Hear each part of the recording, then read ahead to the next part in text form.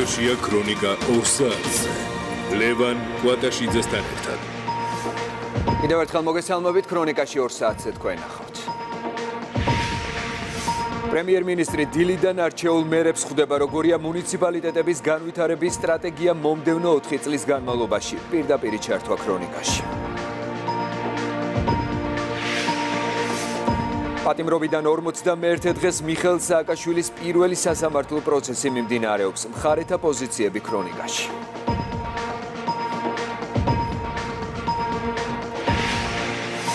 მიხელ სააკაშვილის სასამართლო პროცესი აქციის ფონზე მიმდინარეობს. საქალაქო სასამართლოს ეზოში ყოფილი პრეზიდენტის მხარდამჭერები არიან შეკრებილი. უსაფრთხოებას სამართალდამცველები იცავენ. პროცესი არ ესწრება თავად მიხელ სააკაშვილი, თუმცა სხდომათა დარბაზში ბრალდებული სტატუსით იმყოფება გიგი უგულავა. საქმე ეხება ტელეკომპანია იმედი 7 ნოემბრის დარბევისა და პატარკაციშვილების ქონების დაუფლებას. მარიამ ქართველიშვილი აშუქებს სასამართლო პროცესს. ის პირდაპირ ეთერშია. მარიამ რა ხდება? სხდომათა დარბაზში სასამართლოს ეზოში და როგორია მხარეთა პოზიციები ამ დროისთვის ლევან დავიწყებ უშუალოდ აქციით. შეიძლება ითქვას რომ საქალაქო სასამართლოს გარე პერიმეტრს სრულად აკონტროლებენ სამართალდამცველები აქ მობილიზებულები არიან შინაგან საქმეთა სამინისტროს წარმომადგენლები და მათ ერთგვარი კორდონი აქვს გაკეთებული. კაცში ჩანს რომ ამ კორდონს მიღმარიან მიხელ სააკაშვილის მხარდამჭერები ასევე ოპოზიციონერი პოლიტიკოსები ნაციონალური მოძრაობის ლიდერები. ბანერები ჩანს წარწერით გაათავისუფლეთ მიშა და ასევე აქციის მონაწილეები მოითხოვენ, რომ მიხელ სააკაშვილს მიეცეს იმის საშუალება, რომ დაესწროს სასამართლო პროცესი. ახლა უშუალოდ სასამართლო პროცესის შიდა ვითარებაზე მოგიყვებით. შეიძლება ითქვას, რომ მრავალწლიანი განხილვის შემდეგ გიგი უგულავამ პირველად მოითხოვა საკუთარი ბრალდების საქმეზე დასწრება. ის შევიდა საქალაქო სასამართლოში, ესწრება ამ წუთებში სხდომას და აწარმოებს Facebook Live-ს. ამ ლაივიდან ჩვენ ვიგებთ, რომ მას შელაპარაკება ჰქონდა მოსამართლესთან, ნინო ელიაშვილთან, ითხოვდა, რომ მედიის წარმომადგენლები, ვინაიდან მაღალი საზოგადოებრივი ინტერესი არის ამ საქმეზე, უგულავა ამბობდა, რომ მოსამართლეს უნდა გაწყვეტილება უნდა მიიღო იმასთან დაკავშირებით, რომ მედიის წარმომადგენლები შეეშვა ცხდომათა დარბაზში. თუმცა, როგორც სასამართლომ განმარტა პროცესის დაწყებამდე COVID რეგულაცია სიტუაციებიდან გამომდინარე პროცესზე დაესწრებოდნენ მხოლოდ სალჩოების წარმომადგენლები, ასევე დამკვირვებლები და მხარეები. პროცესი ესწრება პროკურორის საქმის ჯარჯი ციკლაური და ასევე მიხელ სააკაშვილის უფლებადამცველები. ჯერჯერობით მიხელ სააკაშვილი ონლაინ მიხელ სააკაშვილის ონლაინ ჩართვა არ მომხდარა, როგორც უკვე იცით, ფიზიკურად ის არ ესწრება სასამართლო პროცესს. შიგნით კი სხდომაზე ვითარება არის ასეთი ჯერჯერობით საქმის არსებითი ერთი განხილვა არ დაწყებულა, როგორც ჩვენთვის არის ცნობილი, პროკურატურა დღეს აპირებდა 7 ნოემბრის ბადრი პატარკაცის 7 ნოემბრის აქციის დარბევის, ასევე ბადრი პატარკაციშვილის ქონების მართსაწინააღმდეგოდ დაუფლებისა და ტელეკომპანია იმედში შეჭრის საქმეზე ვიდეო მტკიცებულებების განხილვას, თუმცა ეს ჯერჯერობით ეს პროცესი არ დაწყებულა ამ დროისთვის გიგი უგულავასა და მოსამართლეს შორის მიმდინარეობს პოლემიკა ის ითხოვს რომ მედიის წარმომადგენლები დაუშვან პროცესზე, რაზეც მოსამართლე მიუთითა, რომ ამდენი ხნის განმავლობაში ის არ ესწრებოდა მისი ბრალდების საქმეს და მოსამართლისთვის ახლა გაუგებარია, რა გახდა გიგი უგულავას ასეთი ინტერესი საგანი იმ ფონზე, როდესაც COVID რეგულაციები არის საქალაქო სასამართლოში, მოსამართლემ რამდენჯერმე განუმარტა გიგი უგულავას, რომ ამ რეგულაციების ფონზე ის ვერ დაუშვებდა სრულ მედიის ყველა იმ წარმომადგენელს, რომელსაც აქვს ამ პროცესის გადაღების სურვილი. სურვილი.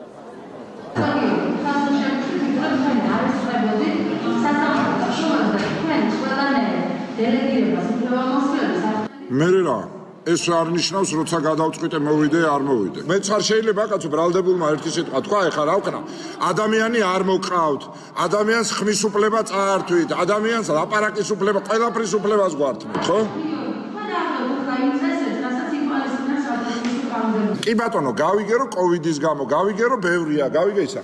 მაშინ იქნებ ის მაინც უზრუნველყო და არ ამგონი რომ პირველი არხი, ჩვენი საზოგადოებრივი არხი, რომლისთვისაც გადასახედის გადამხდელები იხდიან გადასახაც, ხო? და წესი და რიგით ეკუთვნის ყველას, ჩართოს ლაივის უფლება მაინც მიეცით. წინასწარ არის ცნობილი, რომ ადვოკატებს მიხელ სააკაშვილის უფლება დამცველებს აქვთ რამდენიმე შუამდგომლობა, ისინი დღევანდელ პროცესზე მოითხოვენ, რომ მიეცეს მიხელ სააკაშვილს ფიზიკურად დაესწროს მისი ბრალდების საქმის სასამართლო პროცესს, ჯერჯერობით ამ შუამდგომლობამდე პროცესი ვერ მივიდა, ვინაიდან როგორც მოისმინეთ, ახლა მსჯელობენ იმაზე, დაუშვებენ თუ არა მედიის წარმომადგენლებს. გაჩვენებთ რა ხდება ახლა სასამართლოს ეზოში, პოლიცია არის მობილიზებული მიღებული კორდონს მიღმა დგანა ნაციონალური მოძრაობისას მიხელ სააკაშვილის მხარდამჭერები, ასევე ოპოზიციონერი პოლიტიკოსები, სხვადასხვა ოპოზიციის ოპოზიციური პარტიის ლიდერები, ისინი ამბობენ, რომ აქ არიან იმისთვის, რომ გამხნევონ მიხელ სააკაშვილი და ასევე ითხოვენ, რომ სააკაშვილი 7 ნოემბრის ასევე ტელეკომპანია იმეჩი შეჭრისა და ბადრი პატარკაციშვილის ქონების დაუფლების ბრალდების საქმის სასამართლო განხილვას დაესწროს მსჯავრდებული პრეზიდენტი მიხეილ სააკაშვილი. მე მაქვს ბრალდებული სტატუსი ამ საქმეზე. რაღაცაში ხო უნდა გამომადგეს ეს სტატუსი და ამიტომ ვაპირებ შევიდე სასამართლო პროცესზე, მაინტერესებს ხა შემიშვებენ თუ არა, არავის არ აქვს უფლება ბრალდებულს აუგზავნოს თავის სასამართლო პროცესზე მისვლა და მე მაინტერესებს დაუსვა დაუსვა აუცილებლად მოსამართლეს შეკითხვებს და ჩავხედავ ერთი თვალებში, რომ გვეთამაშებიან აქ კაი ტიპობანას გუში რომ სასამართლო მოიწვია და მოვიდეს აქ ჩავატარებ. მაშინ როცა ყველამ ვიცოდით რომ სააკაშოს არ მოიყვანდნენ, ასევე მკითხავ რატომ აქ ამ ადამიანს აკრძალული ელემენტარული უფლებები. მიუხედავად იმისა, რომ გუშინ სასამართლო მოითხოვა რომ მიხელ სააკაშვილი დასწრებოდა სასამართლო პროცესს, ბუნებრივია მე არც მქონდა იმედი რომ მოიყვანოს სიმართლე რო გითხრათ, იმიტომ რომ ყველა ღონეს იხმარს. ხელისუფლება რომ მიხელ სააკაშვილი არ გამოჩნდეს არსად, არც მისი კადრი, არც მისი ხმა, იმიტომ რომ შეშინებულები არიან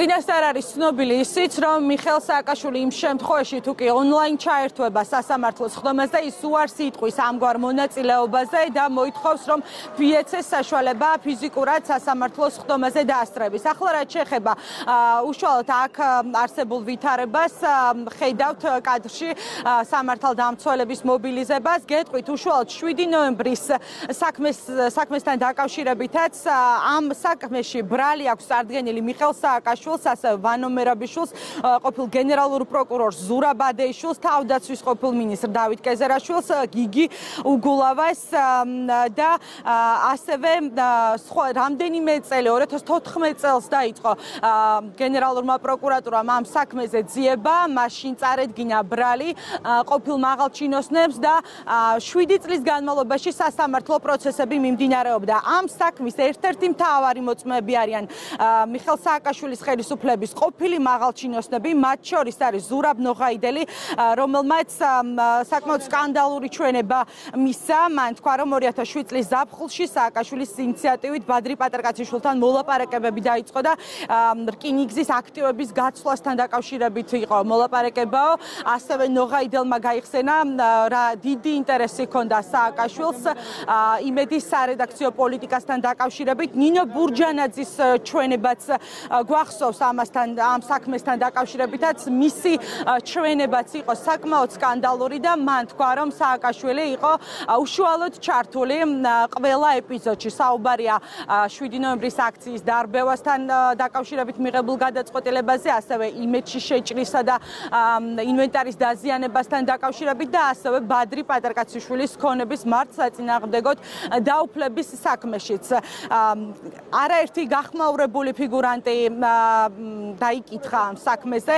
მათ შორის იყვნენ ჟურნალისტებიც, რომლებიც საუბრობდნენ, რომ გიგი უგულავას დაინტერესება იყო სარედაქციო პოლიტიკასთან დაკავშირებით, თუმცა საქმის განხილვა ამ დრომდე არ დასრულებულა. პროკურატურა იკვლევს ახლა მტკიცებულებებს და როგორც უკვე მოგიყევით, წინასწარ არის ცნობილი, რომ დღევანდელ სასამართლოს ხდომაზე ბრალდების მხარე გეგმავდა ვიდეო მტკიცებულებების გამოკვლევას ამ საქმესთან დაკავშირებით, ასევე უნდა განხილოთ შუამდგომლობა აღკვეთის ღონისძიების გადასინჯვასთან დაკავშირებით. ეს არის პროცედურული საკითხი ორ თვეში ერთხელ ბრალდებულების მიმართ აღკვეთის ღონისძიების შეფარდების საკითხი უნდა გადაისინჯოს. ამასთან დაკავშირებითაც ადვოკატებს ჰქონდათ პოზიცია ხდომაზე შესვლამდე რომ ისინი მოითხოვდნენ ამ პროცედურული საკითხის მოხსნას დღის წესრიგიდან ვინაიდან როგორც უკვე ცნობილია მსჯავრდებული არის მიხელ სააკაშვილი ასევე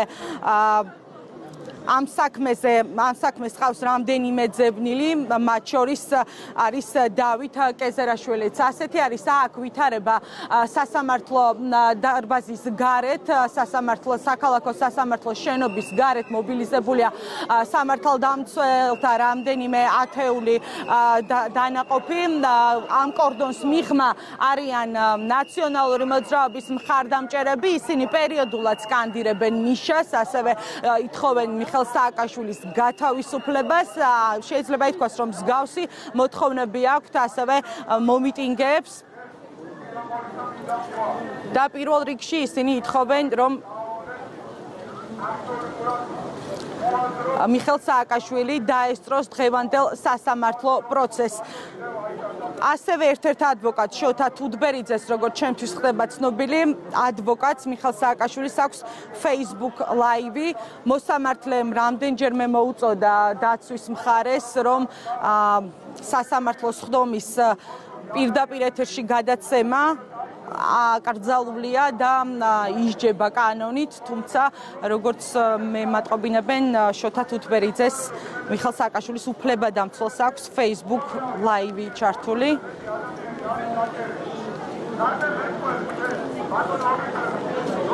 რა ხდება ამ დროისთვის უშუალოდ სასამართლო სხდომაზე? ეს ჯერჯერობით უცნობია, თუმცა დარბაზ გარეთ არის ამგვარი ვითარება, აქ საპროტესტო აქცია მიმდინარეობს. სააკაშვილის ბრალდების საქმის სასამართლო სხდომის პარალელურად. მარიამ ქართველიშვილი საუბრობდა მიხელ სააკაშვილის სასამართლო პროცესის შესახებ, რომელიც ამ წუთებში საპროტესტო აქციის პარალელურად მიმდინარეობს.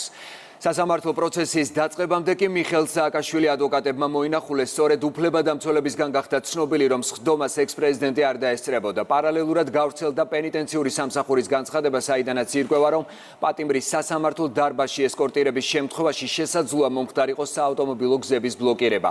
განცხადებაში საუბარია პატიმრის ჯანმრთელობის მდგომარეობაზე რომლის გაყვანაც დამატებით რისკ შესაძლოა უკავშირდებოდეს. მეგი ნარსავიძე გვერდდება პირდაპირ ეთერში. მეგი გისმენთ მე-18 სამკურნალო დაწესებულებიდან გამოსულმა ადვოკატებმა პირველ რიგში ისაუბრეს მიხელ სააკაშვილის ჯანმრთელობის მდგომარეობასთან დაკავშირებით. როგორც ბექა ბასილაიამ განმარტა, მიხელ სააკაშვილის ჯანმრთელობის მდგომარეობა არის გაუარესებული და მას ტკივილები დაიწყო. ასევე ბექა ბასილაიამ თქვა, რომ მათი მოთხოვნა ისევ არის, რომ მიხელ სააკაშვილს მიეცეს პროცესზე დასწრების საშუალება და როგორც მან აღნიშნა, ის მთავარი საკითხი, რასაც დღეს დაცვის მხარეს ხდომაზე დააყენებს, იქნება ის, რომ სააკაშვილის დასწრება იყოს უზრუნველყოფილი. მიხეილ სააკაშვილის ჯანმრთელობის მდგომარეობა არის კიდევ უფრო გართულებული. ამ ვითარებაში საერთოდ მის სიცოცხლის ხანგრძლივობაზე უკვე რა მონაკვეთი დარჩა, ამის თქმა არის ძალიან რთული. მას უკვე დაეწყო ტკივილები, ეს არის შიმშილობიდან გამოწვეული ტკივილები, შინაგანი ორგანოების ტკივილები. ამავდროულად, ეხლა პირველ საათზე ყველამ კარგად ვიცით, რომ არის სასამართლოში პროცესი. სასამართლო პროცესზე პენტენციურ სამსახურს მიხეილ სააკაშვილი არ გადაყავს. უფრო მეტიც გუშინ საღამოს არც კი აცნობეს რომ სასამართლოდან იყო მოთხოვნა მოსული. მიხელ სააკაშვილს მიუხედავად დიდი ტკივილისა და ძალიან დიდი სისუსტისა ქონდა სურვილი და ის მოიკრებდა ძალებს და გადავიდოდა დღევანდელ სასამართლო პროცესზე სასამართლოში. ახლა რაც შეეხება პროცესს. პროცესზე ჩვენ დავაყენებთ საკითხს რომ სასამართლომ უზრუნველყოს მიხელ სააკაშვილის გამოცხადება. პენტენციური სამსახურის განცხადება გავრცელდა დღეს, სადაც ნათქვამია, რომ მიხელ სააკაშვილის გადაყვანა არ მოხდა უსაფრთხოებისგან, უსაფრთხოებიდან გამომდინარე სასამართლო პროცესზე. ასევე განცხადებაში ვკითხულობთ, რომ პროცესზე მსჯავრდებული და ბრალდებული ყოფილი პრეზიდენტის დასწრება მისი ჯანმრთელობის მდგომარეობისთვის დამატებით რისკებს წარმოადგენს. იგეგმებოდა მიხეილ სააკაშვილის პენიტენციურ დაწესებულებაში ეტაპირებისთვის ხელის შეშლის მიზნით დაწესებულებასთან მისასვლელი საავტომობილო გზების ბლოკირება, რიგი პოლიტიკური პარტიების წარმომადგენელთა საკუთრებაში არსებული ავტომანქანების საშუალებით. მათ განზრახული ჰქონდათ აღნიშნული დესტრუქციული ხასიათის მოქმედებების განხორციელება, რომელშიც მონაწილეობას მიიღებდა დაახლოებით 500-600 ავტომანქანა, რაც გამოიწვევდა უკონტროლო სიტუაციას, ქაოსსა და შექმნილი ვითარება ხელს შეუშლიდა და მიხეილ სააკაშვილის ეტაპირების პროცესს. აღნიშნული სახის ქმედებებს შესაძლოა ადგილი ჰქონდეს მისი სასამართლო დარბაზში ესკორტირების შემთხვევაშიც. ასევე ბრალდებულ მსჯავრდებულ მიხეილ სააკაშვილს შეწყვეტილი აქვს მკურნალობის არსებითი ნაწილი. სასამართლო პროცესზე გაყვანა და დასწრება წარმოადგენს დამატებით რისკს მისი ჯანმრთელობისთვის. მიხელ სააკაშვილის ადვოკატების პოზიცია გუშინას და დღესაც არაერთხელ დაფიქსირდა აქ მე-18 სამკურნალო დაწესებულებასთან, რომ მიხელ სააკაშვილი არის მძიმე, თუმცა შეძლებდა მოეკრიბა ძალები და დასწრებოდა პროცესს და მათი მოთხოვნა ახლაც უცვლელია. გლდანის ციხის მიმდებარე ტერიტორიიდან მეგინარსავიძეს უსმენდით პირდაპირ ეთერში. მიხელ სააკაშვილი საქართველოსში შემოყვანის საქმეზე ბრალდებულები პატიმრობაში რჩებიან დღევანდელ ხდომაზე პროკურატურამ საგამოძიებო ვადის გახანგრძლივების შუამდგომლობა დააყენა რაც მოსამართლემ დააკმაყოფილა მისივე განმარტებით ამ დრომდე საქმეში არ არის გამოკვეთილი ახალი გარემოებები, რის საფუძველზეც პირვანდელი გადაწყვეტილება შეიცვლებოდა. გამოძიება გიორგი ნარიმანიძეს, ელგუჯა ცომაია, შალვა და ზურაბ წოწერიებს მძიმე დანაშაულის დაფარვას ედავება. რაც შეეხება ელგუჯა ცომაიას, მას ასევე ბრალი წარდგენილი აქვს საზღურის უკანონო გადმოკვეთაში დახმარებისთვის. მოწევ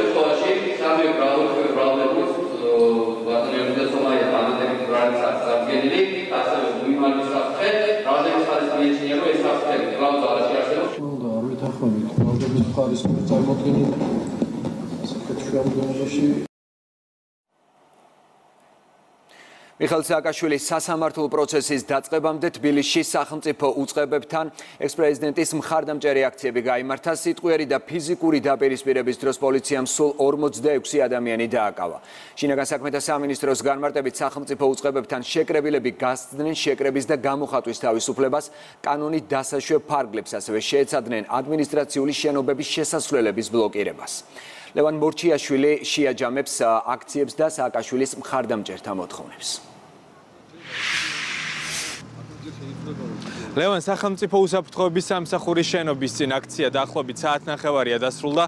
ეს მიმდებარე ტერიტორია უკვე დატოვეს როგორც სამართალდამცველებმა, ასევე ნაციონალური მოძრაობის მხარდამჭერებმა და ლიდერებმა. სწორედ მათ შორის მოხდა რამდენიმე დაპირისპირება, იყო დაძაბული კერები და ამ ეს დაპირისპირებები ათობით ადამიანის დაკავებით დასრულდა. აქ შეკრებილები ამბობდნენ, რომ მათი მოთხოვნა იყო, რომ შეხვედროდნენ სახელმწიფო უსაფრთხოების სამსახურის უფროს, ასევე ითხოვდნენ მიხელ სააკაშვილის გათავისუფლებას, მის სამოქალაქო საავადმყოფოში გადაყვანას და რიგარეშე საპარ რიგარეშე არჩევნებს.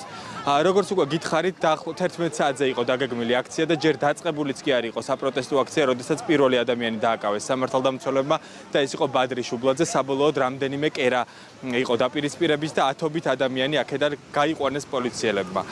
მთელი დღის განმავლობაში, დაახლოებით საათ ახევრის განმავლობაში, როდესაც აქ აქცია მიმდინარეობდა, ნაციონალური მოძრაობის ლიდერები იმყოფებოდნენ ტერიტორიაზე აქციის დაწყებამდე, ამბობდნენ, რომ ამ აქციას უნდა ქონოდა მშვიდობიანი სახე, თუმცა ათობით ადამიანი დაპირისპირების დროს დააკავეს.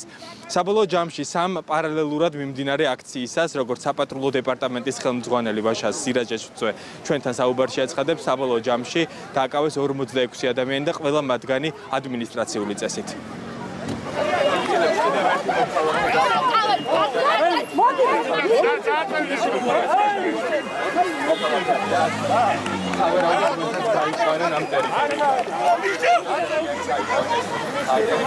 როგორც მოგეხსენებათ, შეკრებისა და მანიფესტაციის შესახებ საქართველოს კანონით აკრძალულია სახელმწიფო დაწესებულების შესასვლელების ბლოკირება. მოუწოდეთ აქციის მონაწილეებს, რომ ეს არის კანონის დარღვევა და თქვენ თანდასწრებით არაერთხელ ამ შემთხვევაში საუბარი მაქვს სახელმწიფო უსაფრთხოების შენობასთან არსებულ სიტუაციაზე, მოუწოდეთ თუ გადასულიყვენ და არ გაეგზელებიათ კანონის დარღვევა. ამ დროისათვის დაკავებულია 46 პირი ადმინისტრაციულად პოლიციის კანონიერი მოთხოვნისადმი დაუმორჩილებლობისათვის, ასევე პოლიციისადმი შეურაცხყოფის მიყენებისათვის და წვილმანი ხულიგნობისათვის. კიდევ ერთი ლოკაცია, სადაც ნაციონალური მოძრაობის ლიდერები და ამ პარტიის მხარდამჭერები აქციას მართავდნენ, ეს იყო იუსტიციის სამინისტრო. ისინი ამბობდნენ და აპროტესტებდნენ, როგორც თავად ამბობენ ამ სამინისტროს საქმიანობას. ეს აქცია სხვა ორთან შედარებით ყველაზე მშვიდად დასრულდა, თუმცა მცირე სიტყვიერი დაპირისპირება მოხდა ნაციონალური მოძრაობის წევრ ლევან ხაბეიშვილსა და საპატრულო პოლიციის ყოფილ უფროს თეიმურაზ კუპატაძეს შორის. ხაბეიშვილმა ის კორუფციულ გარიგებებში მონაწილეობაში და ბიზნესის ფლობაში დაადანაშაულა, თუმცა ბრალდებების ადრესატმა მას უთხრა, რომ თუკი შეძლებდა ერთი დამადასტურებელი ფაქტი მაინც მოეყვანა, მაგალითად მას კუპატაძის კორუფციულან ბიზნეს გარიგებებთან დაკავშირებით, ის მზად იყო დაეტოვებინა შინაგან საქმეთა სამინისტრო, თუმცა წინააღმდეგ შემთხვევაში მან მოუწოდა ლევან ხაბეიშვილს, რომ თუკი ასეთ ფაქტს ის ვერ წარმოადგენდა, მაშინ ის წასულიყო პოლიტიკიდან. ჩვენ წავდებ რამდენი პოლიტიკიდან მე წავალ შინაგან საქმეთა სამინისტროდან თქვენ გიყვართ თქვენი ოჯახი დადება. თქვენი ოჯახი წერზე თქონდა ბიზნესზე გაკეთებული მეორე და მათ შორის ამ მალევე მოგხსნეს მალევე მოგხსნეს და გადაგიყვანეს საზღვარში შეხო ქვირო დისერტაცია დავიცავ დამიცავ დამიცავ და გამიკეთებ. შენ დავალები ლუცი. ინტრიგანი პროვოკატორი ინტრიგანი პროვოკატორი ადამიანი. პოლიციელი უძელო უძელი უძელო არის შენი მოგონი. შენ ხარ უძელი რო დაიბადე ხაბეიშვილი არის ქვეყნის სირცხვილი და ქართული პარლამენტის სირცხვილი. მე პოლიტიკურ განცხადებებს არ ვაკეთებ. ეგ და ადამიანები, რომლებიც მოდიან დღენია და პოლიციელებს პროვოკაციაზე წამოგებას ცდილობენ. მოდიან ჩქმიტავენ პატარა ქალებივით და გამოყავთ მდგომარეობიდან პოლიციელები ისე რომ კამერებთან არ დაფიქსირდეს ეს. ესენი არიან კეკლუცი ადამიანები კამერის წინ მოთამაშე, რომლებმაც აესე მე პოლიციელებს ვიღაცებს მოსხონ ჩირკი და მოახდინო მათი დისკრიმინაცია, დეგრადაცია, რომ ხვალდაზე პოლიციელს შეეშინდეს მათი, მაგრამ რასაც ეს ამბობს ეს ცრუპენტელა კაცმაც უნდა რასაც ეს ამბობს, ეს ვითომ მინდა ვიყო პოლიტიკოსი. შეუძლია წავიდეს, დათვალოს ჩემი შემოსავლები და მაგის მიხედვით გაკეთოს. ან წარმოადგინოს ერთი ჩემი ოჯახის ბიზნესი. ერთი წარმოადგინოს იმ როწყვილის ტრიბუნიდან, ერთი წარმოადგინოს. ან მე წავალ სა დაკავებული თანამდებობიდან, ან ეგ წავიდეს პოლიტიკიდან. მესამე ლოკაცია, სადაც აქციის მონაწილეებსა და პოლიციას შორის დაპირისპირება გაგრძელდა, ეს იყო ჯანდაცვის სამინისტრო, სადაც ასევე ნაციონალური მოძრაობის წევრები ხარდამჭერებთან ერთად მართავდნენ აქციას, ითხოვდნენ, რომ შეხვედროდნენ ჯანდაცვის მინისტრს. აქ სიტუაცია მას შემდეგ დაიძაბა, რაც აქციის ერთ-ერთმა მონაწილემ შენობაზე წარწერის გაკეთება საღებავითსა და ამის უფლება მას, რა თქმა უნდა, სამართალდამცველებმა არ მისცეს, რის შედეგად მოხდა დაპირისპირება და დაახლოებით 10-მდე ადამიანი ამ ტერიტორიაზე ტერიტორიაზეც დააკავეს. შეხლა შემოხლის დროს ერთი ადამიანი ცუდად გახდა, თუმცა მას სამედიცინო დახმარება ადგილზევე აღმოუჩინეს.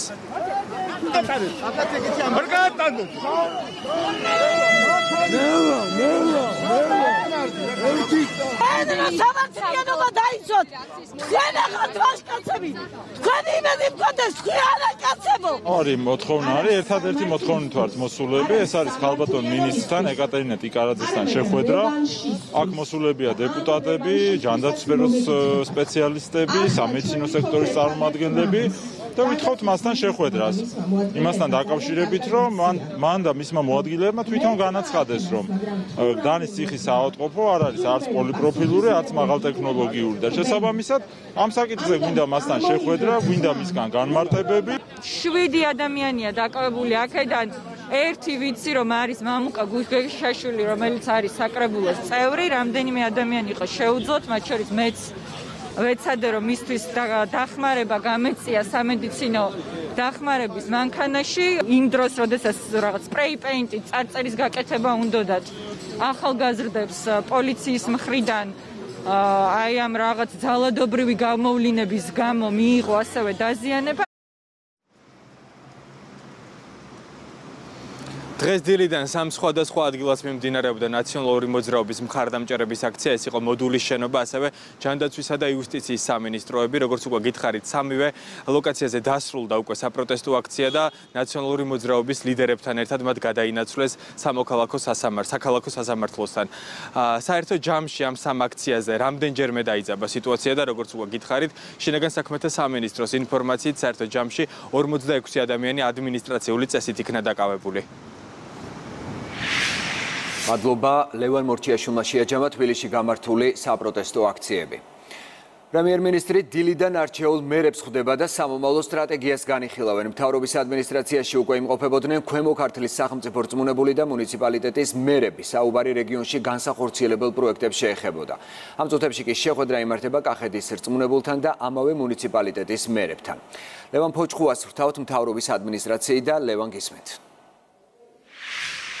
ფაქტობრივად ყველა იმ შეხვედრაზე, რომელიც აქ მთავრობის ადმინისტრაციაში იმართება, საუბარი მიდის იმ საჭიროებებზე, რომელიც რეგიონებში მოსახლეობას აწუხებს და ადგილობრივი ხელისუფლების წარმომადგენლები ამბობენ, რომ თავარ გამოწვევად მაინც რჩება კორონავირუსული პანდემია, ისინი მოუწოდებენ მოსახლეობას, რომ რაც შეიძლება სწრაფად აიცრან და მათი მხრიდან, როგორც ისინი ამბობენ, ხელი ხელ შეუწყობენ ისინი მათ აი ამ პროცესში. გარდა ამისა, ადგილობრივი ხელისუფლების წარმომადგენლები საუბრობენ იმის შესახებ, რომ შეასრულებენ ყველა იმ დაპირებას, რომელიც მათ მოსახლეობას საარჩევნო პერიოდში მისცეს. მიმდინარეობს ხვილი პროექტები, რომელიც ჩვენი მოსახლეობის ყოველდღიურობას გააუმჯობესებს. პირველ რიგში აღსანიშნავი არის სასმელი წყლის პრობლემის მოგვარება, რომელიც გაისად დასრულდება და პირველად დედოფლის ხაროს ისტორიაში თელ მუნიციპალიტეტს ექნება 24 საათიანი წყალი. გარდა ამისა, მიმდინარეობს სხვადასხვა ტიპის სამუშაოები, იქნება ეს საგზაო ინფრასტრუქტურის მოწესრიგება, საბავშვო ბაღებში მდგომარეობის გამოსწორება თუ სხვა ის საჭიროებების და პრობლემების აღმოფხვრა, რომელიც ჩვენს მოსახლეობას აწუხებს და რომელიც აუცილებლად გადაიჭრება ინფრასტრუქტურის გაუმჯობესება, კონკრეტულად ლაგოდეხის მუნიციპალიტეტში ტურისტული პოტენციალის მაქსიმალურად თათვისება, საგანმანათლებლო სფეროში როგორც საბავშვო ბაღების, ასევე საჯარო სკოლების მშენებლობა და რეაბილიტაცია, მწვანე რეკრეაციული სივრცეების შექმნა და რაც მთავარია, ჩვენს მოქალაქეებზე მორგებული სოციალური პოლიტიკა და განსაკუთრებით ახალგაზრდული პოლიტიკის გაძლიერება. ეს არის ის მესიჯები, რაც მივიღეთ და რაზეც შეთანხმებულებულად. ადამიანი არის ჩვენი პრიორიტეტი და მოქალაქე არის ჩვენი მთავარი საზრუნავი. აღარგიქვა მაქსიმალური დახმარება და იყო რეკომენდაცია, რომ მაქსიმალურად ვიყოთ ხალხთან ერთობაში და მივიდაოთ გულთან ყველა ის პრობლემა, რომელიც ამჟამად არის წარმოშობილი. რეგიონისთვის არის ყველაზე დიდი პრობლემა წარმოადგენს წყლის მომარაგება, რომელიც უკვე ეს პროექტი უკვე დაწყებულია და იმედი გვაქვს რომ ძალიან მალე დამთავრდება. იგი პრობლემებზეც ვილაპარაკეთ და იმედი გვაქვს რომ ამ ერთად ჩართულობით მრავალი კარგი სასიკეთო საქმე გაკეთდება. ცოტა ხნის წინ დასრულდა შეხვედრა შიდა ქართლის მუნიციპალიტეტების მერებთან და სახელმწიფო რწმუნებულებთან და საქართველოს პრემიერ-მინისტრთან საუბარი შეეხებოდა იმ ეკონომიკურ პროექტებს, რომელიც რეგიონში ხორციელდება, რაც შეეხება მოსახლეობის საჭიროებებს. ჩვენთან მედიასთან გაკეთებული კომენტარებიდან ირკვევა, რომ მოსახლეობას ყველაზე მეტად აწუხებს ელექტროფიკაცია, გზების პრობლემა, სოფლამდე მისასვლელი გზების პრობლემა, ასევე წყლის პრობლემა და ბუნებრივია, რომ ადგილობრივი ხელისუფლების წარმომადგენლები პირობას დებენ, რომ უმოკლეს ვადებში ამ პრობლემების მოგვარება მოხდება. ჩვენ რა თქმა უნდა მჭიდრო ურთიერთობა გვაქვს მოსახლეობასთან, ვიცით ჩვენი რაიონის კასპის და სოფლებში არსებული პრობლემები გამოწვევები ჩვენი მოსახლეობის. გვაქვს გვერდში დგომა მთავრობის მომდევნო წელსაც ველოდებით დაფინანსებას. დაგეგმილი გვაქვს სოფლამდე მისასვლელი გზების რეაბილიტაცია აგრეთვე ქალაქ კასპში რამდენიმე ქუჩის რეაბილიტაცია დაგეგმილი გვაქვს რამდენიმე სოფელში სასმელი წყლის სათავე ნაგებობების და სისტემის მოწესრიგება რომლებშიც არ არსებობდა საერთოდ სასმელი წყლის ქსელი გარდა ამისა დაგეგმილია სკვერების და სოფლებში აგრეთვე კარში სპორტული ინფრასტრუქტურის მოწესრიგება. განვიხილეთ სამომავლო მნიშვნელოვანი პროექტები, რა აქცენტები უნდა გაკეთდეს რეგიონის განვითარებისთვის, ასევე განვიხილეთ პრემიერის ახალი ინიციატივა, ეს ეხება ვაქცინაციასთან დაკავშირებით 200 ლარიანი 200 ლარის გადახდას, ვინც აიცრება წლის ბოლომდე. ასევე განვიხილეთ COVID სიტუაცია რეგიონში. შესაბამისად როგორც რეგიონის ადმინისტრაცია ასევე მუნიციპალიტეტის მერები ახალი შემართებით შეუძლებიან საქმიანობას და ყველაფერს გააკეთებენ მოსახლეობისთვის ამ წუთებში კი მთავრობის ადმინისტრაციაში საქართველოს პრემიერ-მინისტრის სამცხე ჯავახეთის მუნიციპალიტეტების მერებს და სახელმწიფო რწმუნებულს ხდება. ქრონიკის ეთერში ლევან ფოჩხუა საუბრობდა. გიგი უგულავა უკვე არასრულ წრონებსაც ემუქრება. წუხელ პარლამენტთან გამართულ აქციაზე სიტყვით გამოსვლისას ოპოზიციონერმა ლიდერმა გლდანის ციხის უფროსის მოადგილის ოჯახზე ისაუბრა და მის არასრულ წლოვან შვილთან დაკავშირებით აქციის მონაწილეებს მიმართა. მხოლოდ მას შემდეგ რაც უგულავას განცხადება საზოგადოების მხრიდან ძაფრი კრიტიკა მოჰყვა, მან სოციალურ ქსელში ბოდიში მოიხადა. თქვენი ყველას სახელები და გვარები იქნება ონლაინ გამოქვეყნებული. აი იმ ვიღაცა მოხვედი ჩიტო როიძახის. აი იმ ვიღაც ორდენიძის. მე ძალიან არ მიყვარს საქმეში გავრიო ოჯახი და ბავშვები მაგრამ აი ამ ნაგვის ვინც ხელი აღმართა პრეზიდენტზე უნდა იცოდეს მისი შვილის მეგობრებმა და კლასელებმა, რომ мама ყავს ჯალათი. ყველა ბოძზე უნდა გამოვაკრათ ესეთი ჯალათები. ეგ ლაიქია, ცოტა უხე. ყველამ უნდა იცოდეს, არა, რომ ასეთი ადამიანების ფეხქვეშ მიწა დაიწובה. იმიტომ რომ ის რასაც თქვენ აკეთებთ და ამზადებთ დაანგრევს ამ ქვეყანას გაუბედურებს უამრავ ადამიანს. აქციაზე გიგი უგულავას გამოსვლას აკრიტიკებენ პარლამენტში. კანონმდებლები თანხმდებიან რომ დაუშვებელია პოლიტიკური ქულების დაწერა ბავშვების უფლებების დარღვევის ხარჯზე. უგულავას აკრიტიკებენ მესამე სექტორში სახალხო დამცველი კი პირდაპირ ამბობს რომ დაუშვებელია ოპონირების იარაღად ბავშვების გამოყენება. უფრო მეც მაკა აბულაძე გვეტყვის ის ქრონიკის პირდაპირ ეთერს უერთდება ლევან ცალსახად შეგვიძლია ვთქვათ, რომ ეს თემა არის სენსიტიური, ვინაიდან საქმე ეხება პოლიტიკოსის მხრიდან პოლიტიკურ პროცესებში ბავშვების ჩარევას. შესაბამისად, გიგი უგულავას გუშინდელი მოწოდება, რომელიც ყველამ ერთად მოვისმინეთ, ბუნებრივია გახდა კრიტიკის საგანი და ეს ალბათ მოსალოდნელიც იყო და ასეც უნდა ყოფილიყო და განსაკუთრებით აღმაშფოთებელი აღნიშნული მოწოდება, რომელიც აქციის აქცია აქციიდან მოვისმინეთ, იყო სწორედ ბავშვთა უფლება დამცველებისთვის. შესაბამისად, მათგან დღეს მოვისმინეთ მკაფიო მოწოდება პოლიტიკოსების მისამართით, კონკრეტულად ამ შემთხვევაში კი გიგი უგულავას მისამართით, რომ მნიშვნელოვანია გაცილებით მეტი იფიქრონ მათ თუ რას საუბრობენ და რა საჯარო მიმართვებს აკეთებენ. ვინაიდან არსებობს წითელი ხაზები, რომელიც არ უნდა დაირღვეს და ეს წითელი ხაზია სწორედ ბავშვთა უფლებების დარღვევა, რომელიც არის პრაქტიკულად შეუძლებელი შეუძლებელი და დაუშვებელი. ჩვენ ასევე მოვისმინეთ სახალხო დამცველის მკაცრი მოწოდებაც და გზავნილიც. მთავარი სათქმელი ასეთი იყო ომბუდსმენის, რომ პოლიტიკური ოპონირების იარაღად არ უნდა იქნას გამოყენებული. ბავშვი მიუხედავად იმისა, თუ რას წარმოადგენს და რა სტატუსი აქვს მისი ოჯახის წევრს. შესაბამისად, დამსახურებული კრიტიკა, რომელიც ამ განცხადებას მოყვა, ჩვენ შეგვიძლია მოვისმინოთ განცხადებები და ასევე ამის შემდეგ შემდეგ უკვე ვისაუბროთ პოლიტიკურ შეფასებებზე, რომლებიც ასევე გაკეთდა.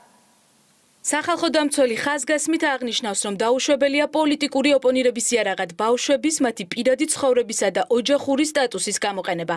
ამგვარი ქმედება არა მხოლოდ არ ღვევს კონკრეტული ბავშვის უფლებას, არამედ საფრთხის ქვეშ აყენებს ზოგადად ბავშვთა საუკეთესო ინტერესების დაცვას ქვეყანაში. დაძაბული პოლიტიკური ფონის მიუხედავად ბავშვები დაცული უნდა იყვნენ ნებისმიერი ფორმის ფსიქოემოციური ძალადობისგან და ამის გათვალისწინების ვალდებულება უპირველესად სწორედ საჯარო პირებს აკისრიათ. საქართველოს სახალხო დამცველი მმართველი მოუწოდებს საჯარო პირებს და პოლიტიკოსებს პოლიტიკური დებატებისას თუ სხვა ნებისმიერ პროცესში იხელმძღვანელონ ბავშვის საუკეთესო ინტერესის დაცვის სტანდარტით და არ მოახდინონ ბავშვის მიმართ ძალადობის, ბულინგის თუ სხვაგვარი ქმედების წახალისება.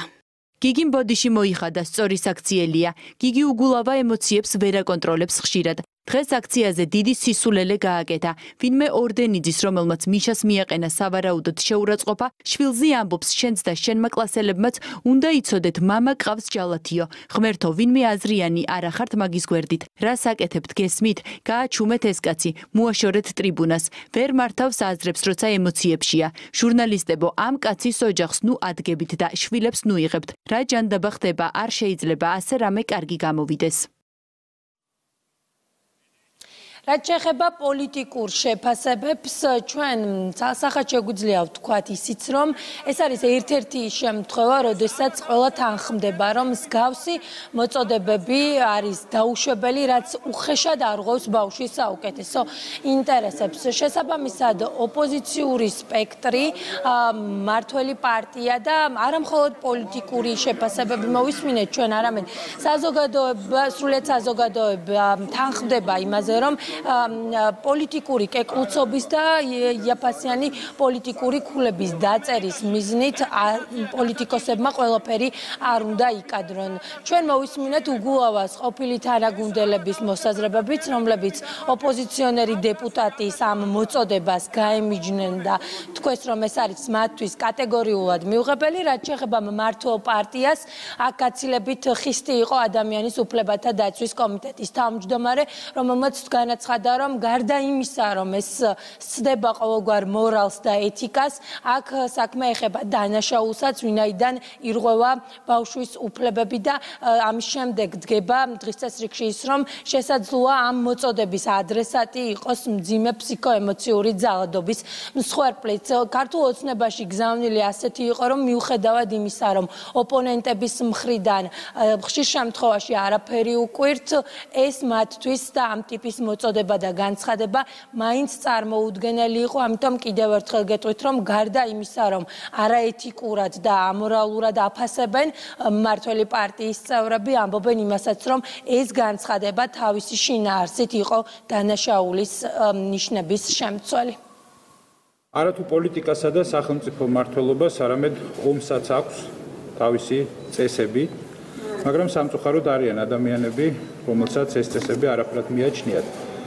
ეს ძირითადად ხელმოწარული, ვერ შემდგარი პოლიტიკოსები არიან, რომლებიც მხოლოდ ისტორიული უსამართლობის შედეგად აღზევდებიან ხოლმე სამართლიან გარემოში მათ აქვს ტრაგიკული ბედი. გუშინ ჩვენ მოვისმინეთ და ვიხილეთ ერთი ასეთი კლასიკური შემთხვევა, რომელმაც გაბედა და გაილაშქრა საკუთარ ოპონენტად აღქმულ სამართალდამცველზე და რაც მართლაც საგანგაშო და საყურადღებოა მის ოჯახზე და არასრულწლოვან შვილებზე. მე არ წაგართმევ დროს, რა თქმა უნდა, იმის ახსნით, რომ ეს არის სისაძაგლე, რადგან ყველა თვითონ მისი ჩათვლით მთელი სიცხადით ხვდება ამ საქციელის ბარბაროსულობას და ამორალობას. ბატონი უგულავას გუშინდელ სისაძაგლეს არ აქვს გამართლება. ამიტომ ნურავი ეცდება, რომ ეს საქციელი ახსნას ემოციური ფონით ან სხვა ფაქტორებით, რის მცდელობების კვალიც აქა-იქ შეინიშნებოდა და შეინიშნება. ყველას მინდა მოუწოდო, განსაკუთრებით რა თქმა უნდა ჩვენ საერთაშორისო პარტნიორებს, საერთაშორისო ორგანიზაციებს, რომლებისთვისაც განსაკუთრებით მნიშვნელოვანია საქართველოსში მიმდინარე მათ შორის პოლიტიკურ პროცესებში მცდელობები, რომ რაც შეიძლება მაღალი იყოს პოლარიზება, რაც შეიძლება მაღალი იყოს სიძულვილიანის გამოყენების სიხშირე და რაც მნიშვნელოვანია სამოქალაქო დაპირისპირებისკენ წაყვანის მცდელობები. მინდა მათ მოუწოდო. განსაკუთრებით ასევე ბატონი უგულავას კოლეგებს ოპოზიციიდან, რომ ერთმნიშვნელოვნად ცხადად და მკაფიოდ შელამაზებისა და უალირების გარეშე დაგმონ ეს საქციელი და გაემიჯნონ ამას. უგულავას ნებისმიერი განცხადება არის გასცდენილი არამხოლოდ ზნეობის და კანონის, არამედ ადამიანობის ფარგლებში. ის რაც დღეს მან იკადრა, როდესაც ძალობა უწოდებს პოლიციას და პოლიციელებს და შეურაცხყოფას აყენებს პოლიციელებს. ის რაც მან გააკეთა, როდესაც მოუწოდა მოქალაქეებს რომ თავდასხმა განახორციელებინათ პრაქტიკულად ოჯახზე, ადამიანის ოჯახზე, რომელსაც როგორც ვარკვევთ, არანაირი დანაშაული, არანაირი ბრალი არ მიუძღვის, ეს ყველაფერი სავარაუდოდ რაც მის წინამდე თქო არის ბრალდება, მაგრამ ყოველთვის დადასტურებული ამ წუთში არაფერი არ არის და მან მოუწოდა რომ ბავშვებზე განახორციელებული ყო ძალადობა ეს არის უბრალოდ კანონის დარღვევა და ეს არის უგულებელყოფა აღუჩა დაგდება ადამიანი ელემენტარული ადამიანური ნორმების და მისი ბოდიში ამ შემთხვევაში არ არის საკმარისი. კატასტროფა იყო გიგი უგულავას განცხადება ეს იყო კატასტროფა თუ არ ვშტები მან ბოდიში მოიხადა თუმცა მე ყველა ჩემი კოლეგა იქნება ოპოზიციური თუ ვინც არ უნდა იყოს ყველას ხო მოვუწოდებ რომ ჩვენ დღეს ჩვენ ყველა სიტყვას აქვს ძალიან დიდი მნიშვნელობა ქვეყანაში. ოცნებამ შექმნა აბსოლუტურად ისტერიული და არანორმალური სიტუაცია, ამიტომ ჩვენ ბევრად მეტი პასუხისგებლობა გვეკისრება და გმობ არ ვეთანხმები და ნუ გამიხარდა რომ ბოდიში მოიხადა. კატეგორიულად მიუღებელია ნებისმიერ ვითარებაში ზოგადად ოჯახის წევრების და მეხმედების ბავშვების ასე სამიზნე დამოღება ასეთ ვითარებაში და მე მგონი უგულავომაც თუ არ ბოდიში მოიხადა ამის გამო მე მაყურებელს შევახსენებ, რომ გიგი უგულავამ. ერთ-ერთი სამართალდამცველის ოჯახის წევრის, კონკრეტულად კი ბავშვის მისამართით, რბილად რომ თქვა, ძალიან ცუდი მოწოდება გუშინ გააკეთა.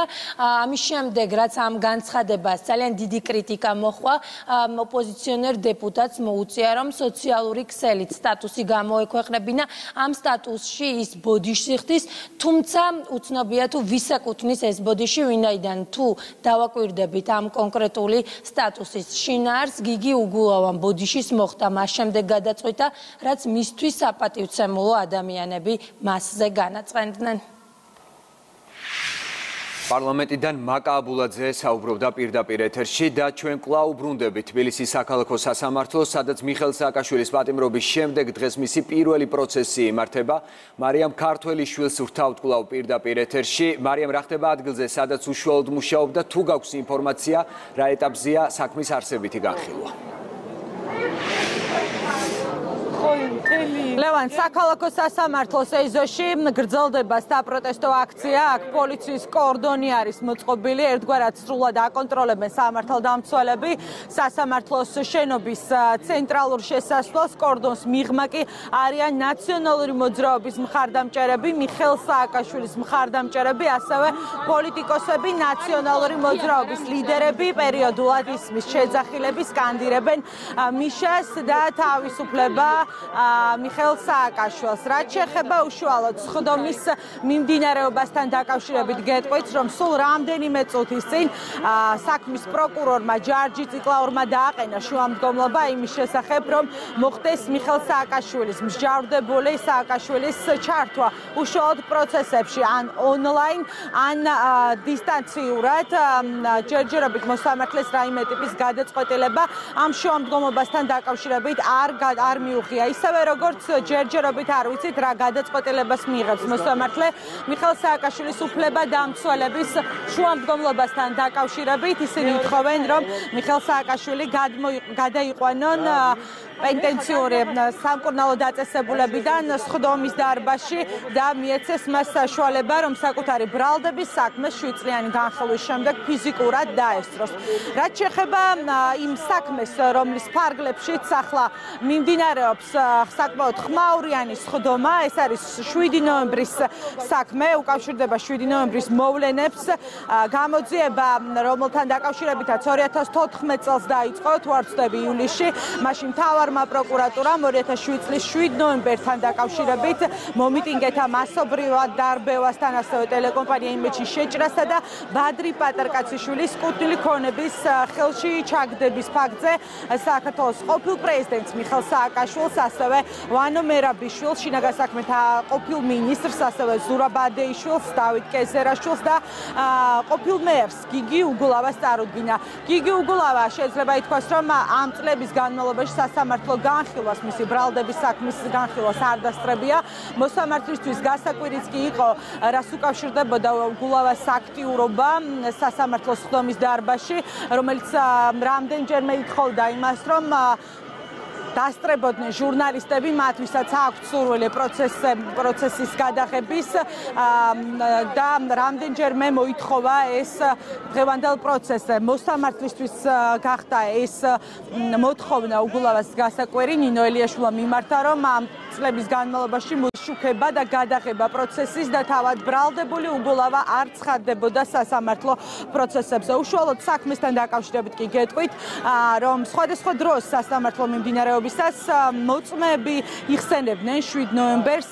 საკმაოდ ხმაურიანი ჩვენებებიც გვახსოვს ჩვენ ამ საქმესთან დაკავშირებით. 7 ნოემბრის აქციის დარბევას და ტელეკომპანია იმეჩის შეჭრას უკავშირდება ყოფილი პრემიერ-მინისტრის ზურაბ ნოღაიდელის ხმაურიანი ჩვენებაც მან თქვა რომ მიხელ სააკაშვილისთვის იმედის და რედაქციო პოლიტიკა ინტერესის განსაკუთრებული ობიექტი იყო. ასევე ნოხაიდელმა თქვა რომ 2007 წლის ზაფხულში სააკაშვილის ინიციატივით ბადრი პატრკაციშვილის პატრკაციშვილთან მოლაპარაკებები დაიწყო იმედის და რკინიგზის აქტივების გაცვლასთან დაკავშირებით.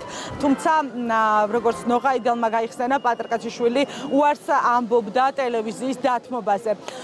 ასევე სასამართლოზე საკმაოდ ხმაურიანი ჩვენება მისცა თავის დროზე ნინო ბურჯანაძე მათ კონკრეტული სახელები და გვარებიც კი დაასახელა მაშინ ბურჯანაძემ, ვინც როგორც თავად ამტკიცებდა საკუთარ ჩვენებაში დარბევის და ტელეკომპანიაში შეჭრის ბრძანება გასცა. ეს მან თქვა რომ იყო მიხელ სააკაშვილი. ბურჯანაძე მას შემდეგ თქვა ასევე რომ როდესაც იმედმა მაუწყებლობა განაახლა გივი თარგამაძე და გიგი უგულავა პირადად ახორციელებდნენო მოლაპარაკებებს იმედის ჟურნალისტებთანო, ასევე სთავაზობდნენო თანხებსო და ასევე ჩვენებაში ამბობს რომ იყო მათი მხრიდან ერთგვარი შანტაჟიო. საქმის გამოძიება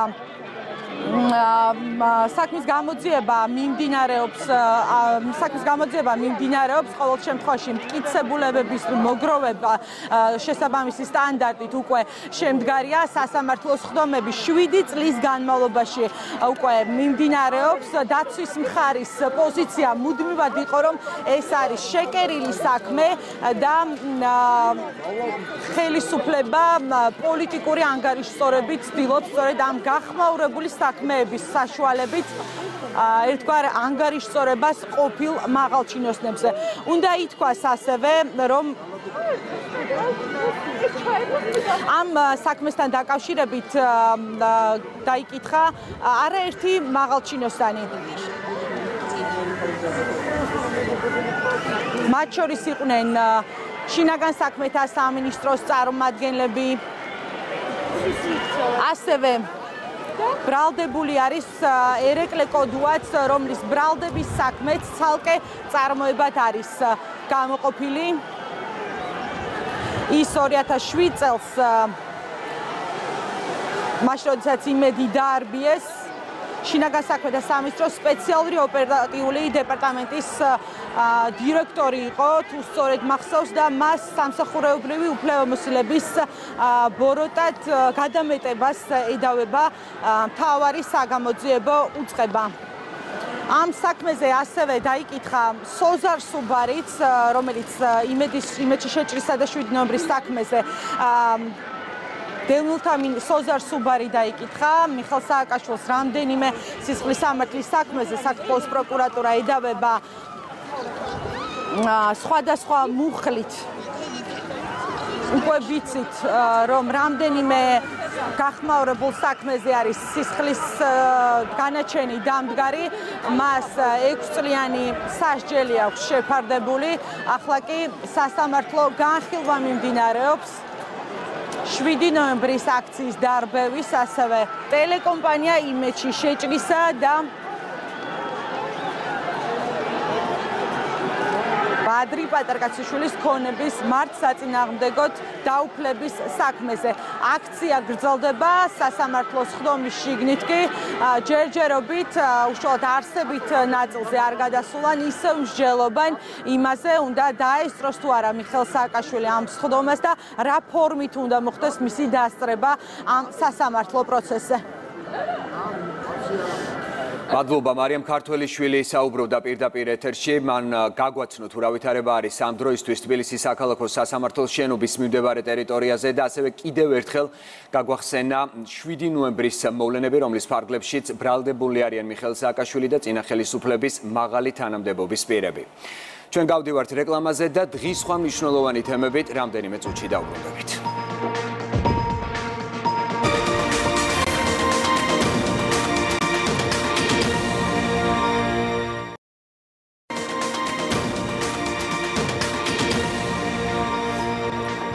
რეკლამის შემდეგ პირდაპირ ეთერში უბრუნდებით და ეპიდვითარებაზე საუბრით განვაგრძობთ გამოშვებას. ბოლო 24 საათში კორონავირუსით კიდევ 78 ადამიანი გარდაიცვალა. პანდემიის გავრცელებიდან დღემდე ვირუს ჯამში 10662 ინფიცირებული ემსხვერპლა, რაც შეეხება სხვა მონაცემებს. დადასტურებული შემთხვევების რაოდენობის მიხედვით სულ აღრიცხულია 5751 ახალი შემთხვევა, ყველაზე მეტი თბილისში გამოვლინდა, შემდეგ მოდის იმერეთი, მესამე ადგილზეა შიდა ქართლი. საკოორდინაციო საბჭოს ინფორმაციით განიკურნა 3647 ადამიანი. დადებითობის დღიური მაჩვენებელი კი 10.8%-ია. 10 ნოემბრის მონაცემებით აქტიური შემთხვევების რაოდენობა 55500 162-ში ადგენს.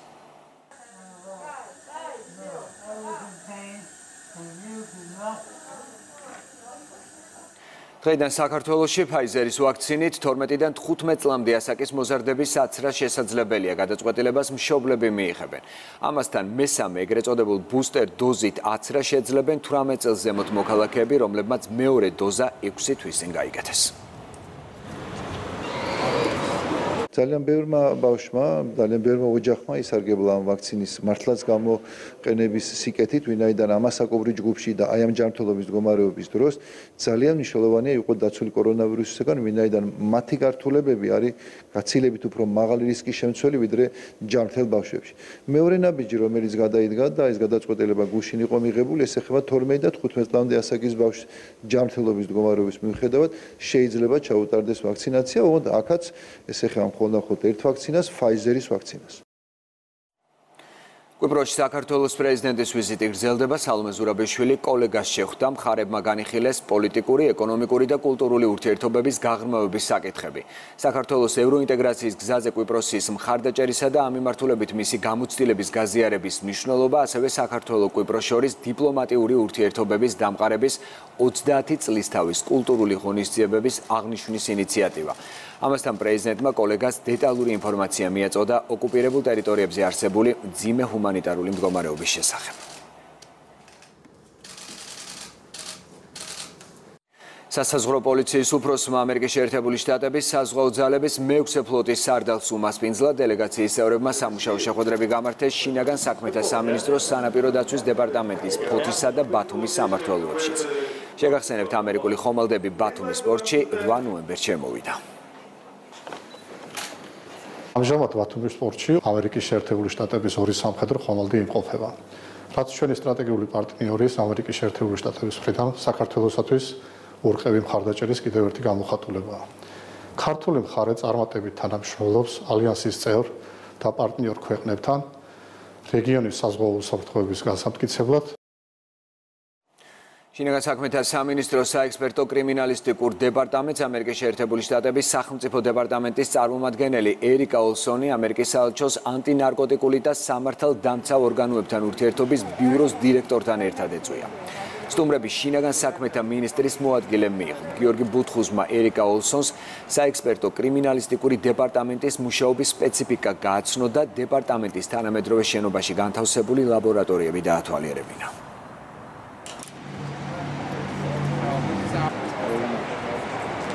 Helping our investigators to collect evidence from the crime. დიდგორი 2021 შინაგან საქმეთა სამინისტრო უწყებათა შორის სწავლებაში მონაწილეობს. სწავლება დიდგორი წელს განსაკუთრებით მასშტაბურია. რადგან სასშტაბო ნაწილის გარდა გათვალისწინებულია საველე კომპონენტებიც. ასევე წელს სწავლებაში პირველად იქნება გამოყენებული ახალი სიმულაციური სისტემები. აღნიშნულ სწავლებაში დახვეწილი იყო შემდეგი ტაქტიკური ელემენტები. ესენია: საზღვრის დამრღვევის დევნის, ძებნის, აღმოჩენის და მისი ბლოკირების ტაქტიკური ელემენტები. აღნიშნული სწავლება ემსახურება საბრძოლო მომზადების დონის ამაღლებას, ასევე იმ უნარჩვევების დახვეწას, რომელსაც ჩვენ ყოველდღიურად ვიყენებთ. გლობალური კორუფციის ინდექსში საქართველოს 9 ადგილით დაწინაურდა. რეიტინგის მიხედვით საქართველოს სოფლიოს 196 ქვეყანას შორის საუკეთესო 25%-ში მოხვდა. სოფლიოში 41 ადგილზე დასახელდა. სოფლიო ბანკის წევრ ქვეყნებს შორის კი 40 საუკეთესოში 38 პოზიციაზე გავიდა კორუფციისგან თავისუფლებით საქართველოს გაუსწრო ევროკავშირის და ნატოს წევრ 9 სახელმწიფოს: სლოვაკეთს, ხორვატიას, უნგრეთს, ბულგარეთს, რუმინეთს, თურქეთს, მონტენეგროს, ალბანეთს და ჩრდილოეთ მაკედონიას. სოფლიო საინვესტიციო რუკაზე საქართველოს ცნობადობისა და ქვეყნის მიზიდულობის გაზრდის თვალსაზრისით საერთაშორისო რეიტინგები და კვლევები მნიშვნელოვან როლს ასრულებს ქვეყნის განვითარებაში. შესაბამისად, მიმდინარე პერიოდში შვეიცარიული საერთაშორისო ანალიტიკური კომპანიის მიერ გლობალური კორუფციის ინდექსი 2021 წლის კვლევის შესაბამისად საქართველოს 9 ადგილით გააუმჯობესა საკუთარი პოზიცია. აღნიშნული კვლევის მიხედვით საქართველოს გამოირჩევა კვლევაში მონაწილე ნატოს და ევროკავშირის ზოგიერთ ქვეყნის მიერ მიღწეულ შედეგებთან მიმართებაში. წყნეთის გზატკეცილის 59 ბენომერში მცხოვრები მოქალაქეები მშენებელ და დამკვეთ კომპანიებს სამუშაოების არაჯეროვნად შესრულებაში ადანაშაულებენ. როგორც ადგილობრივები ქრონიკასთან ყვებიან, უკვე წლებია კორპუსის გარე ფასადს კერამოგრანიტის ფილებით ცვივა და მათ ცოცხლის საფრთხე ემუქრება. კორპუსში მცხოვრებლები ფილების დემონტაჟს და შენობის გარე ფასადის ხარისხიანად შეფუთვას ითხოვენ. ის იყო ექსპლუატაციაში მიღებული 2017 წლის აგვისტოს მანამდე უკვე ივნისის თვეში 2017 წლის დამკვეთ კომპანიასა და მშენებელ კომპანიას შორის უკვე დავა იყო მომხდარი და არსებობდა საარბიტრაჟო გადაწყვეტილება რომლითაც აღიარებული იქნა რომ აღნიშნული სამშენებლო სამუშაოები იყო შესრულებული უხარისხო და ამის გამო დაჯარიმდა კომპანია. უნდა მომხდარიყო აღნიშნული ფილების სრული დემონტაჟი და მათი თავიდან მონტაჟი მაგრამ კომპანია რომელიც არის ევნორნიშნული რომელმაც შეასრულა სამუშაოები უშუალოები და კომპანია, რომელიც არის დამკვეთი და მესაკუთრე იყო აღნიშნული корпуსის და გააცვლის ეს ბინები, ეს არის ნირამ პროპეტის დეველოპმენტი არც სასამართლო გადაწყვეტილებას ასრულებენ, არც საახსრულებო მოქმედებებს არ ასრულებს ახსრულების ეროვნული ბიურო. თავაზობენ ფილების გამაგრებას მეთოდით, რომელიც სამხარაულის თვალსახედვით არის შესაძლებელია იმუშაოს, იმიტომ რომ ასეთი რამ არავის არ გაუკეთებია. ანუ აპირებენ ამ ფილების შტირებით დამაგრებას. ხელშეკრულება, რომელიც გამოგვიგზავნეს, არ ითვალისწინებს არანაირ პასუხისგებლობას ჩვენებელის მხრიდან. არ აღიარებს არანაირ პასუხისგებლობას უკვე შესრულებული სამუშაოებისა და არ გვთავაზობს არანაირ აა ესე იგი რაღაც აზრიან გარანტიას, რომ ეს პროცესი შემდგომაც არ აღგრძელდება. ევროკავშირის საფრანგეთისა და ჩეხეთის რესპუბლიკების სოციალური დაცვის ხელშეწყობის მიზნით საქართველოსში ახალ პროექტს იწყებენ.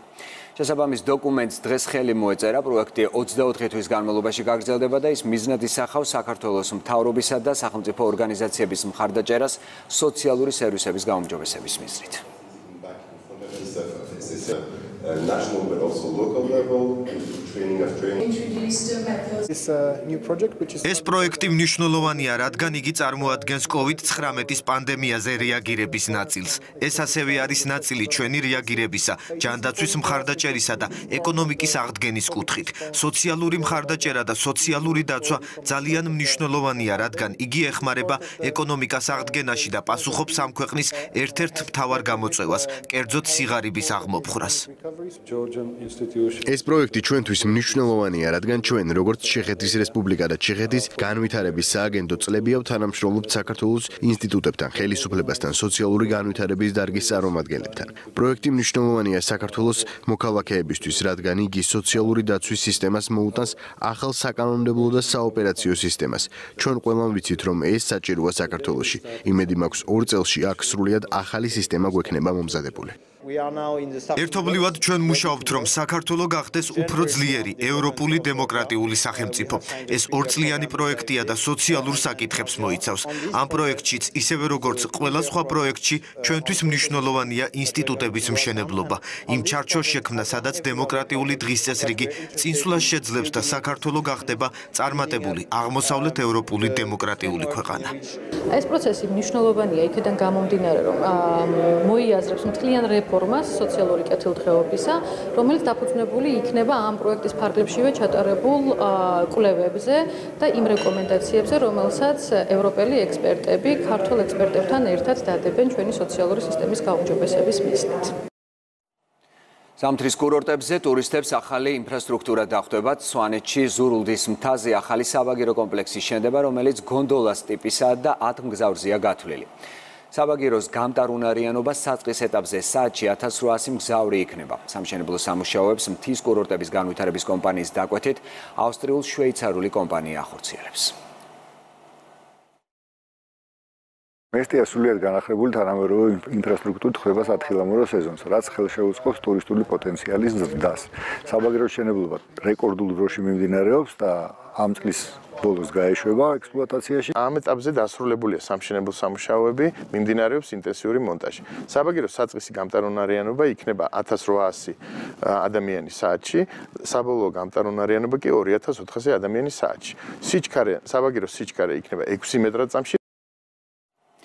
მეკლდეურები პარიზის ოლიმპიადისთვის ემზადებიან, როგორ მიმდინარეობს მზადების პროცესი, სავარჯიშო პირობებს კულტურის, სპორტის და ახალგაზრდობის მინისტრი ადგილზე გაეცნო. შეგახსენებთ, მეკლდეურობა ერთ-ერთია იმ სპორტის სახეობებს შორის, რომელსაც სპორტის სამინისტრო მასობრივი სპორტის განვითარების კუთხით პრიორიტეტულ მიმართულებად მიიჩნევს.